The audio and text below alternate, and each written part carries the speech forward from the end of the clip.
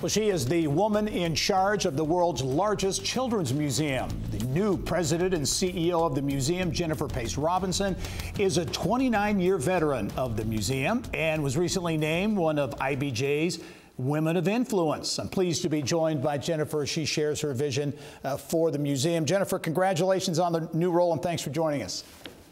Thank you so much. It's great to be here. Yeah, well, as I mentioned, you have been at the museum for a long time, almost three decades. You have seen a lot.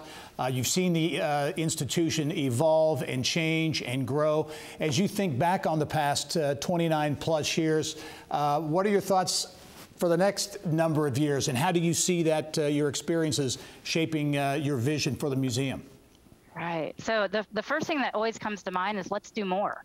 Let's do more of the same. Um, we have uh, walked in some really uh, wonderful footsteps of previous leaders. Uh, the vision of our one of our first leaders, Mrs. Compton, to create this building that we're in now and these huge 10,000 square foot galleries. And so I really see my role to, to capitalize on the work that has come before and, and just keep pushing it forward. So um, you'll see uh, lots of engaging activities for preschoolers, for families. We're going to be a tourist destination to come during the holiday season, during spring break. Um, we're going to continue our international relationships and make more international relationships because that really allows us to bring the world to Indianapolis through our Take Me There exhibits. Um, and on the horizon, we've got some really big dinosaur bones. Yeah, yeah. Well, in your roles at the museum, you've really grown up there, literally uh, an interpreter, an exhibit manager. You were the lead originally on, on Dinosphere, and that's going through another iteration. So some of those tried and true exhibits are going to are going to remain. Right, and that's so important to our business that we know, for example, with dinosaurs, almost 90% of the people who walk through our doors go into the Dinosphere exhibit. And when we started that experience, we did so much market study of what do kids want to see when they walk in the door? And dinosaurs is right there near the top. And so creating that Cretaceous world was amazing. Working with the advisors, we've been digging for the last five years on a top secret site out in Wyoming uh, called the Jurassic Mile. And so that's what we're doing next. We're going to be repurposing the space so you feel like you're traveling back in time to the Jurassic world and you're going to be encountering the giant specimens that come out of that space.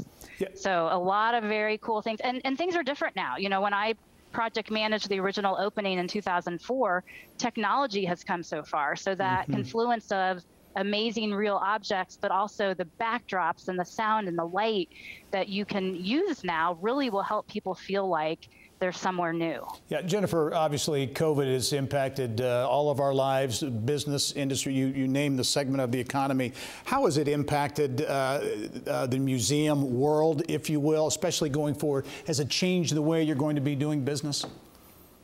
Right. So, a couple of um, pretty amazing things have come out of what has been a very hard time for lots of institutions. But the sense of community and sharing uh, our successes and our wins and what hasn't worked has really kind of gelled um, the field as a community and, in kind of a really great way. And going forward, we're really talking about the mix of the virtual and the on site. And one thing that I found out is it takes just as many people uh, to do the virtual as it does to mm-hmm. to do the on-site. And so making sure that we have that right mix, um, because we were able to reach families in England and schools mm-hmm. in Kentucky, and let's keep that momentum going, but make sure that we look at all the resources we have available and that we reserve enough for those in-person yep. visitors who are coming starting to come back again. Jennifer Pace Robinson, the new CEO at the Children's Museum of Indianapolis. Jennifer, thanks so much. Uh, you've got a lot of energy, and I know a lot of great ideas. Look forward to seeing you soon. Thank you so